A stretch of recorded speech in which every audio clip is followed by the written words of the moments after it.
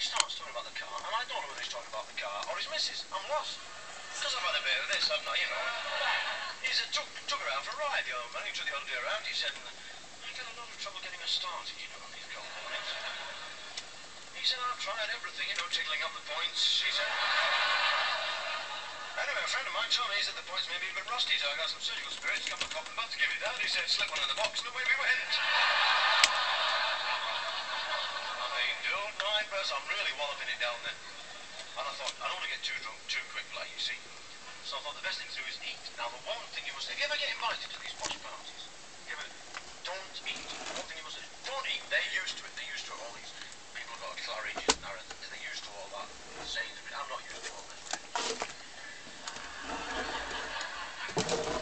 They've moved in up here, haven't they? We're going to send the UCP down there, don't worry.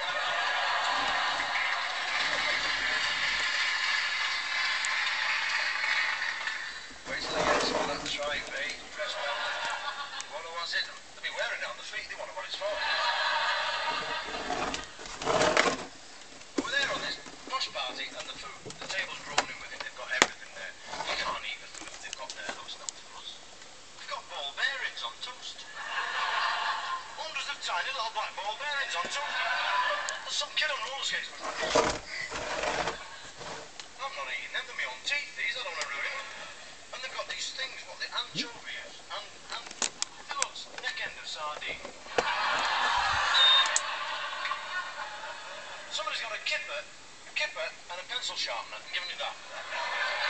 If you've not got a good mouthful in them, you've got to get a big bag of them. That's it. And they've got these things vol vivants you can't eat. They look like you're just eating them. You can't eat them.